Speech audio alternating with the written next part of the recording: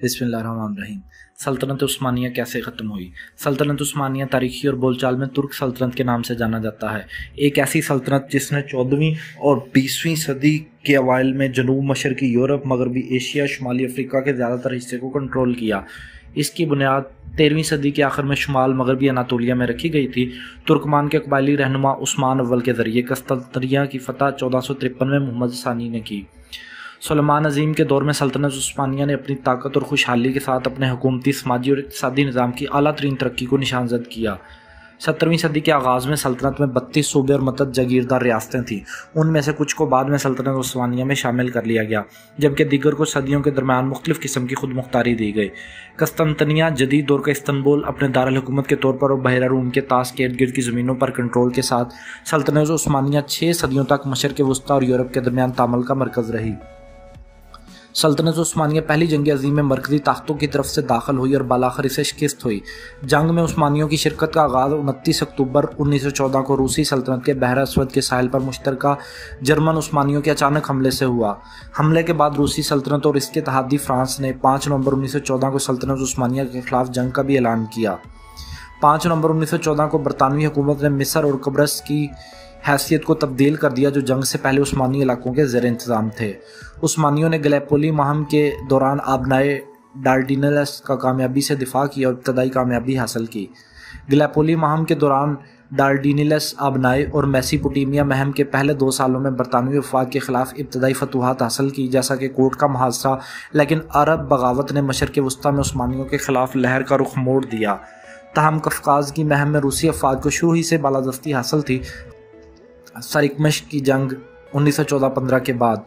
रूसी अफवाज ने शुमाल मशर की अनातोलिया में पेशकदमी की और 1917 में रूसी इनकलाब के बाद ब्रेस्ट लेटुसक के माहदे के साथ पहली जंग अजीम से पीछे हटने तक वहाँ के बड़े शहरों को कंट्रोल किया।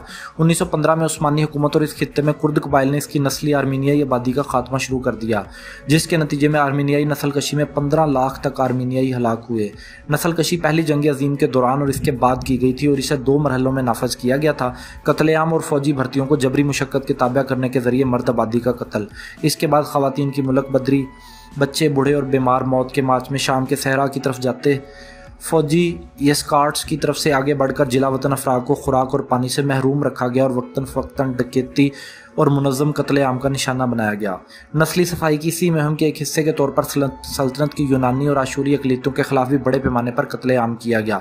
उन्नीस सौ सोलह में बरतानवी हिमायत से अरब बगावत शुरू हुई। इसने मशर के वस्ती के महाज पर उस्मानियों के खिलाफ लहर का रुख मोड़ दिया, जहाँ जंग के पहले दो सालों में इनका हाथ ऊपर दिखाई देता था।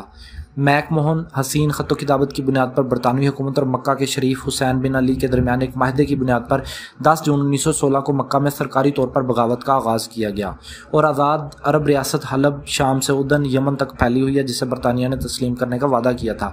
शरीफैन आर्मी हुसैन और हाशमियों की क्यादत में बरतानवी मिस्री महम जोई की फौजी हिमायत के साथ कामयाबी से लड़ी और उस्मानी फ़ौजों की मौजूदगी को हिजाज और उर्दन के बेशतर इलाकों से निकाल बाहर किया। इस बगावत ने बाला आखिर दिमश्क पर कब्जा कर लिया और हुसैन के बेटे फैसल की क्यादत में मुख्तर मुद्दत के लिए बादशाहत कायम की। स्काइज पिकॉट माहदे के बाद बरतानवी और फ्रांसीसी ने बाद में मुशर के वस्ता को मैंडेट वाले इलाकों में तकसीम कर दिया। पहली जंगी अजीम में शिकस्त खाने के बाद सल्तनत उस्मानिया ने 30 अक्टूबर 1918 को मड्रोस की जंग बंदी पर दस्तखत किए। इस्तनबुल पर मुश्तर की बरतानवी, फ्रांसीसी अतालवी और यूनानी अफवाज ने कब्जा कर लिया। मई 1919 में यूनान ने आसपास के इलाके पर भी कंट्रोल हासिल कर लिया। सल्तनत उस्मानिया की तकसीम को 1920 के सीओरस के माहदे की शरात के तहत हतमी शक्ल दी गई। ये माहदा जैसा कि लंदन की कॉन्फ्रेंस में डिज़ाइन किया गया था, सुल्तान को अपना अहदा और लकब बरकरार रखने की इजाज़त देता था, काबिज अफवाज के पेश नज़र अनातोलिया की हैसियत मसाइल का शिकार थी। तुर्की की कौमी तहरीक में एक कौम प्रस्त अपोजिशन ने जन्म लिया। इसने मुस्तफ़ा कमाल की क्यादत में तुर्की की जंग आज़ादी उन्नीस सौ उन्नीस उन्नीस सौ तेईस जीत ली। बाद में इसे अतातरक कहा गया। सल्तनत यकम नवंबर उन्नीस सौ बाईस को ख़त्म कर दी गई और आखिरी सुल्तान मोहम्मद शिशम ने सत्रह नवंबर उन्नीस सौ बाईस को मुल्क छोड़ दिया। जमहूरिया तुर्की उसकी जगह उनतीस अक्टूबर उन्नीस सौ तेईस को नए दारकूमत में कायम हुआ। अनकरा के खिलाफ 3 मार्च उन्नीस सौ चौबीस को ख़त्म कर दी गई। कुछ मरखीन के नज़दीक उस्मानी सल्तनत ख़त्म होने की कुछ वजूहत ये हैं पहले नंबर पे ये बहुत ज़रूरी था, जबकि सनती इनकलाब सतारह सौ और अठारह सौ की दिहाई में यूरोप में फैल गया था। उस्मानी मीशत का इसार काश्तकारी पर होने की वजह से इकसादी तौर पर सुस्त था। इसकी आबादी कम तलीम याफ्ता थी और दूसरे ममालक ने इसे जानबूझकर कमज़ोर किया और इसे रूस के साथ तबाहकुन दुश्मनी का सामना करना पड़ा और उसने पहली जंग अजीम में गलत रुख इख्तियार किया, जिसकी वजह से इसे मसाइल का सामना करना पड़ा